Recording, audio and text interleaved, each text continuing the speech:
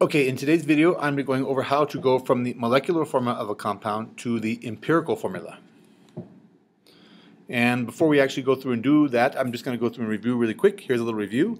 The empirical formula, you should remember, shows you the lowest whole number ratio of the elements in the compound, and the molecular formula shows you the actual whole number ratio. So the empirical formula is always the lowest ratio. Okay, and you can see here we have some, four compounds. All four of these are molecular formulas, and for each of these, we're going to go to the empirical formula. Okay, and the way we do that is we're simply going to reduce, I just think of it as reducing the chemical formula, reducing the molecular formula to its lowest ratio. So we want to just look at all the subscripts we have here and we want to see if they can be reduced. And you see we have H2O2, this is hydrogen peroxide, that's the molecular formula. Well, the lowest ratio, H2O2 is the actual formula for hydrogen peroxide, but the lowest ratio, of course, because 2 and 2 are both divisible by 2, is the lowest ratio is just going to be HO. So the empirical formula for hydrogen peroxide is just HO. Okay, now here we have uh, C6H6. This is benzene. And um, we once again we have both our 6 and 6, so they can be both divisible by 6 and 6, and therefore we have the empirical formula for benzene is just CH. Okay, so that's the empirical formula. All right, now here we have one that's a little more complicated. This is caffeine, but you can see we have all even numbers here, 8, 10, 4, and 2. So we can reduce each of those is divisible by 2. So the empirical formula for caffeine is C4 H5 N2O. Okay, that is simply the empirical formula for caffeine. Okay, now we have the last one here is ribose. Ribose is a simple sugar, a monosaccharide, and you can see we have 5, 10, and 5, and of course 5, 10, and 5 are both divisible, or all three of those are divisible by 5, so the empirical formula for ribose is just simply C H 2 O. Okay, so those are the, uh, the empirical formulas for those compounds. And let's go through and do some others and see what else we can figure out. Here um, we have some more. These are all, once again, molecular formulas.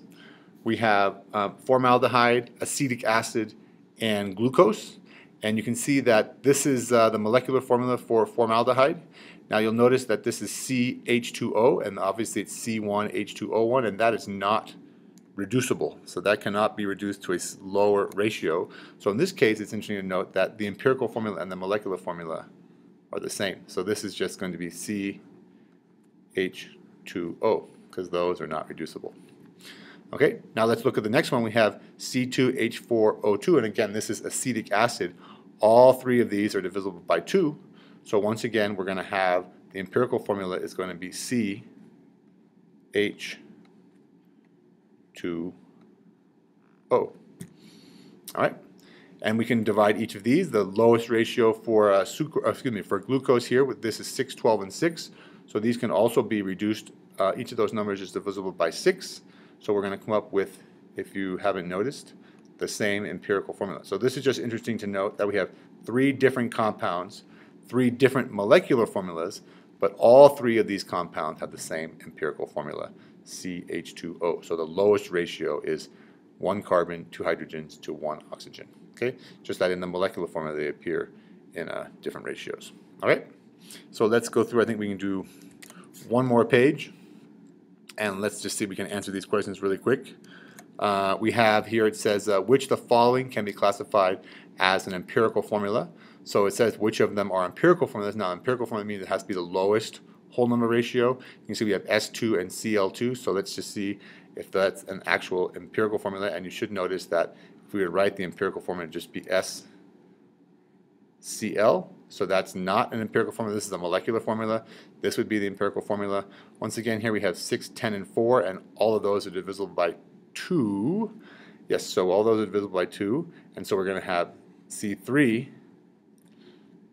H5, and O2. So once again, this is an empirical, this could be, this is a molecular formula, this is an empirical formula.